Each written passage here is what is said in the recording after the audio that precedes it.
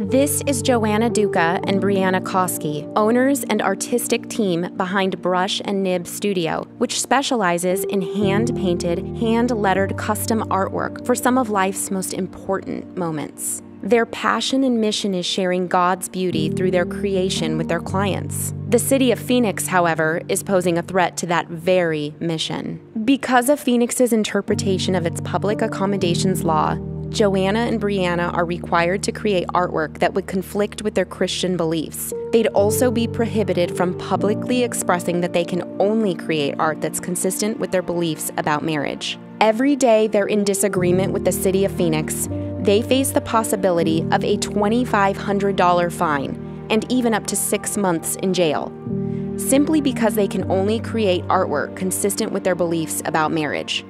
Joanna and Breanna create designs for all people. They simply can't create all messages. Alliance Defending Freedom has filed suit on their behalf so they're free to create and speak about their art in a way consistent with their beliefs.